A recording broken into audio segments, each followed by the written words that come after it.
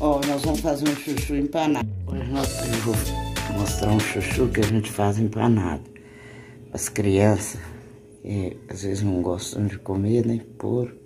Então vamos empanar. Aqui eu tenho um chuchu pequeno.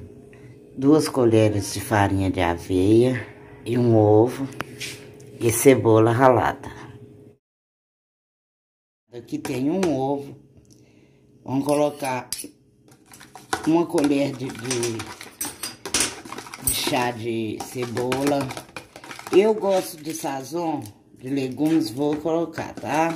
Você, aí fica a, gosto de vocês. Eu não vou sal no chuchu, não. Eu vou misturando aqui. Agora eu vou pôr aqui duas colheres de farinha de aveia, tá? E continuar batendo. Até formar uma pastazinha. Aí você põe um pouco de leite. Se quiser pôr mais um ovo, mas eu gosto de pôr o leite aqui, fazer a pasta. Aí você pode pôr salsinha, cebolinha, pimenta do reino. O meu é só com esse tempero mesmo. Acrescenta o tempero que você quiser.